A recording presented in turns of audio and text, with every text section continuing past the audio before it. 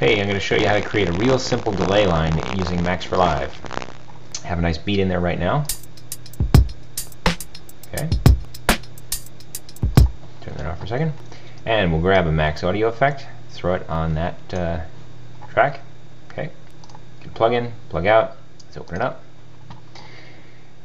And the big thing to do is basically use this thing called a tap in. Have a tape delay in. And we're going to give it a buffer size of 2 seconds. And we need to have a tap out. And it will have a single tap out for now. We'll connect these up. We'll just grab one channel, bring it in.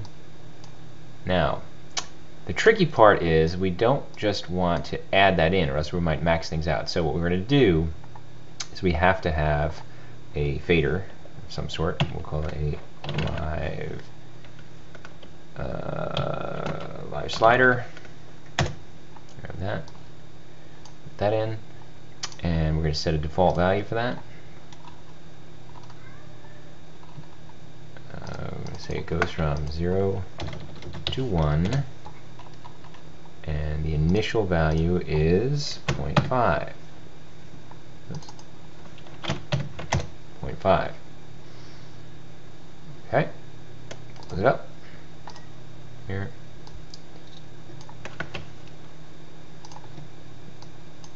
Set it to 0.5 for now. And that is going to feed a multiplier. Now notice that all these things we are using the tilde commands because they're going to be audio level stuff, right? So audio rate stuff. So tilde. So we have coming out of that, and we have to adjust that and send it out. So this is going to go from 0 to 1. And we also want to uh, check the other side as well. My cat seems to want to get in the room here. I'm not going to let him in just yet. Okay, so grab this, disconnect that. I have to run him through another uh, star tilde multiplier. And whoops. This guy is going to go in there. And this guy is going to come out. And I'm going to take and invert the other guy by doing this. Watch, ready? Um, minus 1. So this is going to go from 0 to 1, and I want to subtract that from 1. So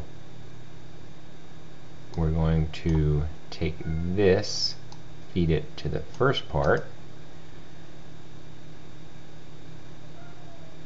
and send that to that right. That value goes in there. Subtract 1 from it. No, that's wrong. Uh, I want to subtract that from 1. So I need to have 1 always coming in here. This is going to be a little bit weird.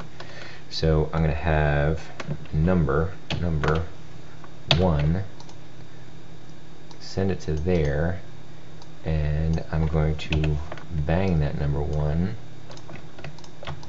Oh, it's a little tricky. Bang the number one with the output of this guy. So right after he sets the value, he's going to bang the one through. That should send it through there. Let's see if that works. Okay. Yep. Cat's messing up my tutorial.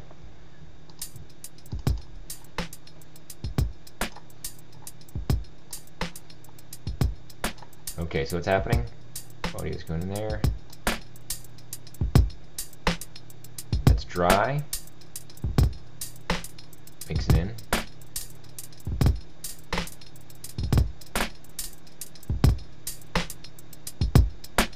Yeah.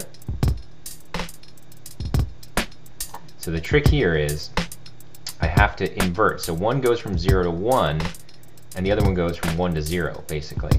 That's why I have this subtracted off from 1. That's the tricky part. Okay, so there's our first effect, a nice simple uh, delay. Now if we want to say how much do we want to delay, so I'm going to throw another object in here. I'm just going to throw a uh, new live dial. And live dial is going to go into tap out inspector. I'm going to say it can go from 0 to 2000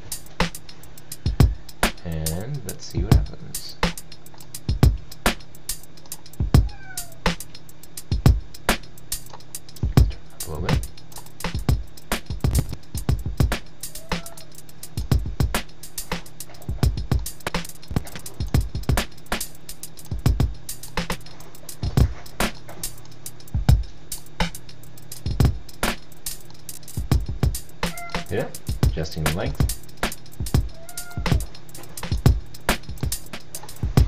cat is going crazy back there. All right, uh, well, check out this for a while, see if that makes sense. Talk to you later. I gotta go see what the cat's wanting. All right, take care. Bye.